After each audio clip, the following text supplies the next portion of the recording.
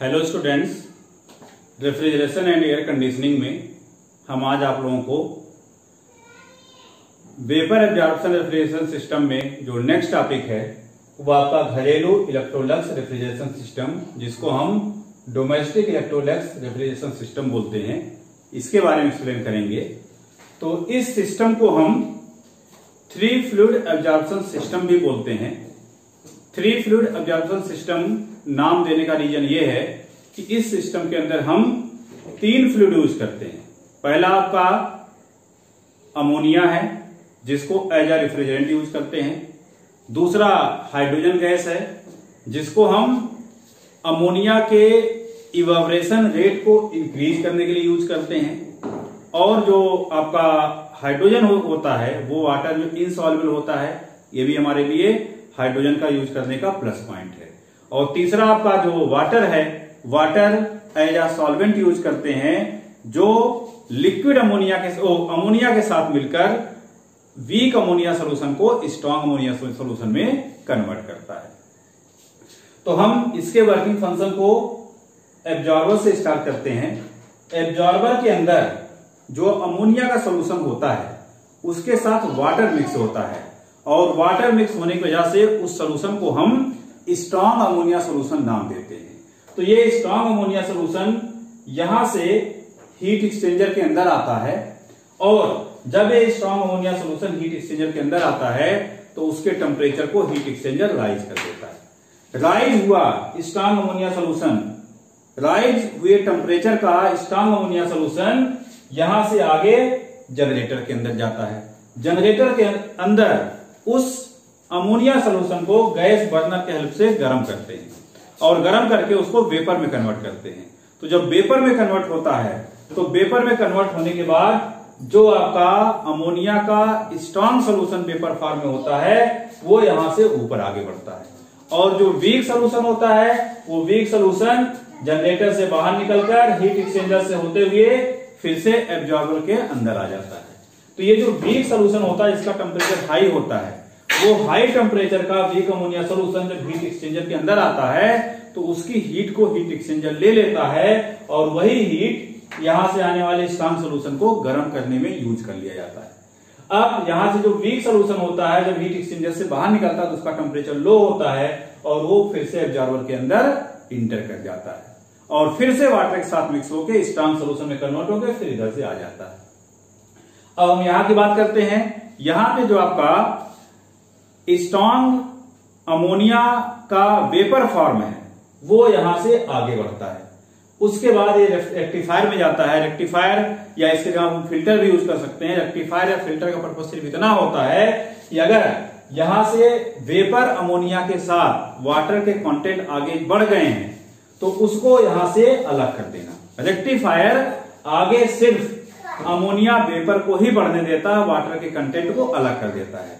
Water के content आगे क्यों नहीं बढ़ते हैं? उसका रीजन ये है कि अगर वाटर के कंटेंट आगे बढ़ जाएँगे तो कंडेंसर में पहुँचने के बाद, वो कंडेंस होने के बाद आइस में कन्वर्ट हो जाते हैं और आइस में कन्वर्ट होने के बाद, होने के बाद वो लाइन को चोक कर देते हैं, यानी लाइन को जाम कर देते हैं। यही वजह है कि वाटर के कंटेंट को हम आगे बढ़ने नहीं देते हैं। अब यहाँ से रेक्टिफायर से आगे, सिर्फ़ वेपर अमोनिया जाएगा। मतलब अमोनिया का वेपर फॉर्म जाएगा। तो जब अमोनिया का वेपर फॉर्म कंडेंसर के अंदर जाता है तो कंडेंसर के अंदर उसको हम ठंडा करते हैं। ठंडा करने के बाद ये जो वेपर अमोनिया है, ये लिक्विड अमोनिया में कन्वर्ट होता है। लिक्विड अमोनिया में कन्वर्ट होने के बाद इस इवाबरेटर के अंदर आता है, जहाँ पर उसको रेफ्रिजरेशन इफ़ेक्ट प्रोड्यूस करना होता है। तो यहाँ पर लिक्विड अमोनिया इसके अंदर इंटर करेगा और यहाँ से हाइड्रोजन गैस इंटर करेगा। दोनों इंटर करते हैं तो लिक्विड जो आपका लिक्विड अमोनिया है, वहाँ के हीट को एब्जॉर्ब करता है और एब्जॉर्ब करके वहाँ कूलिंग इफ़ेक्ट जनरेट करता है। हाइड्रोजन गैस का फ़ंक्शन इतना है कि हाइड्रोजन गैस वहाँ पर इवावरेशन रेट को इंक्रीज कर देता मतलब जो कूलिंग इफ़ेक्ट जनरेट हो रहा है, उस कूलिंग इफ़ेक्ट के रेट को इंक्रीज करने के लिए यूज़ किया जाता है। तो जब ये लिक्विड अमोनिया यहाँ के हीट को एब्जॉर्ब करेगा तो वो वेपर में कन्वर्ट होगा और उसके साथ हाइड्रोजन मिला होगा। और वेपर में कन्वर्ट होने के बाद हाइड्रोजन के साथ मिक्सर जो बनता है, वो वीक सोल्यूशन में कन्वर्ट हो जाता है। तो वीक सोल्यूशन अमोनिया और हाइड्रोजन का सोल्यूशन यहाँ से नीचे आता है और फिर से एब्जॉर्बर के अंदर आता है। जब एब्जॉर्बर के अंदर आएगा तो इस अमोनिया और हाइड्रोजन सोल्यूशन में से अमोनिया को हाइड्रोजन अमोनिया को वाटर एब्जॉर्ब कर लेगा। और हाइड्रोजन अलग होकर फिर से यहाँ से इवापोरेटर के अंदर आ जाएगा। जब अमोनिया को वाटर एब्जॉर्ब कर लेगा तो वो वीक सोल्यूशन फिर से स्ट्रॉन्ग सोल्यूशन में कन्वर्ट हो जाएगा और स्ट्रॉन्ग सोल्यूशन में कन्वर्ट होने के बाद फिर से यहाँ से आगे बढ़ेगा। तो ये प्रोसेस कंटिन्यू चलता रहता है और कूलिंग इफ़ेक्ट जनरेट होता रहता है। यहाँ पर इस रेफ्रिजरेटर का यूज़ यहाँ पर जो हम रेफ्रिजरेटर का जो हम यूज़ कर रहे हैं, इसमें हम करते क्या है? कि यहाँ पर पंप को हम इसमें रिमूव कर देते हैं। पंप को हटा देते हैं। पंप को हटा देने से फ़ायदा यह रहता है, पंप के चलने से नॉइस जनरेट होता है और पंप के ना होने पर नॉइस जनरेट नहीं होता। तो ऐसी जगह पर इसका यूज़ करते हैं जहाँ पर बहुत शांत प्रद मतलब जहाँ पर नॉइस ना जनरेट हो। जैसे ऑफ़िस वगैरह है ऑफ़िस वगैरह में नॉइस जनरेट नहीं होता है। तो ऐसी जगहों पर हम इसका यूज़ करते हैं। और जैसे जो फैक्ट्री वगैरह होती है इसका जो सीओपी होता है, इसकी सीओपी की वैल्यू बहुत कम होती है। सीओपी की वैल्यू कम होने की वजह से इसको फैक्ट्री और इंडस्ट्री में यूज़ नहीं करते। अब इसके बाद, इससे पिछले टर्म पे हमने आप लोगों को सीओपी फाइंड करने का फार्मूला बताया था सीओपी का डेरिवेशन कराया था। तो उस सीओपी पे बेस्ड एक आध हम न्यूमेरिकल देखते हैं। तो हमारा न्यूमेरिकल जो है, एक वाष्प अवशोषण रेफ्रिजरेशन निकाय। मतलब आपका एक वाष्प अवशोषण रेफ्रिजरेशन निकाय का मतलब एक आपका वेपर एब्जॉर्बन रेफ्रिजरेशन सिस्टम है, जिसमें निकाय में तापन, शीतल एवं रेफ्रिजरेशन का तापमान। तापन का मतलब क्या होता है? जहाँ पर हम हीट कर रहे हैं, यानी ये कह जनरेटर के अंदर।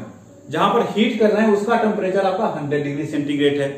और कूलिंग कूलिंग मतलब जहाँ पर उसको हम ठंडा कर रहे हैं। ठंडा करने मतलब हम कूलिंग कंडेंसर में करते हैं। कंडेंसर का टेम्परेचर आपका ट्वेंटी डिग्री सेंटीग्रेड है। और शीतल एवं रेफ्रिजरेशन रेफ्रिजरेशन मतलब जहाँ पर रेफ्रिजरेशन इफ़ेक्ट प्रोड्यूस किया जा रहा है। जहाँ पर जिस पोर्शन को ठंडा किया जा रहा है, वहाँ का temperature minus five degree centigrade है। यानी जिस जगह पर रेफ्रिजरेशन प्रोड्यूस किया जा रहा है, उस हॉल का temperature minus five degree centigrade है। तो हमें अधिकतम सीओपी की वैल्यू फाइंड करनी है। यानी अधिकतम coefficient of performance maximum coefficient of performance की वैल्यू फाइंड कर दी तो हमें पता है, हमें बताया था कि मैक्सिमम सीओपी का जो फार्मूला होता है TE upon TC minus T पहले ब्रैकेट के अंदर, दूसरे ब्रैकेट में TG minus TC upon TG तो यहाँ पर टीजी जो है, वो जहाँ पर रेफ्रिजरेशन को हीट किया जा जाना मतलब जनरेटर के अंदर, वो टेम्परेचर है। तो टीजी 100 डिग्री सेंटीग्रेड है, इसको केल्विन में कन्वर्ट करेंगे 100 प्लस टू यानी 373 केल्विन हो जाएगा। दूसरा कंडेंसर कंडेंसर का टेम्परेचर 20 डिग्री सेंटीग्रेड है। इसको भी केल्विन में कन्वर्ट करेंगे तो 20 प्लस 273 ये आपका 293 केल्विन हो जाएगा। और जहाँ पर कूलिंग इफ़ेक्ट जनरेट किया जा रहा है, उसका temperature minus five degree centigrade है। तो ये minus five plus two seventy three तो कितना आ जाएगा? 268 केल्विन आ जाएगा। अब इन सारी वैल्यूज़ को इस सीओपी के फार्मूले में पुट करेंगे। COP max equal to TE मतलब 268 अपान टीसी 293 माइनस टू और सेकेंड ब्रेकेट में टीजी जनरेटर का temperature 373 minus TC 293 upon TG 373 तो जो हम इस पूरे को सिंप्लीफाई करेंगे तो यहाँ पे जो सीओपी की वैल्यू आती है 2.3 आती है। तो इस तरीके से आपका डायरेक्ट फार्मूले पर बेस्ड जो न्यूमेरिकल है मतलब जिसमें आपको जनरेटर का टेम्परेचर दिया होगा कंडेंसर का टेम्परेचर दिया होगा, और जहाँ पर कूलिंग इफ़ेक्ट जनरेट करना होगा, वहाँ का टेम्परेचर दिया होगा, तीनों टेम्परेचर को सिर्फ़ और सिर्फ़ केल्विन में कन्वर्ट करके फार्मूले में पुट करके आपको सॉल्व करना है तो इस टाइप के न्यूमेरिकल की आप लोग प्रैक्टिस कर लीजिएगा। आज के लिए इतना ही। नेक्स्ट टाइम पे अगला टॉपिक कराएँगे। Thank you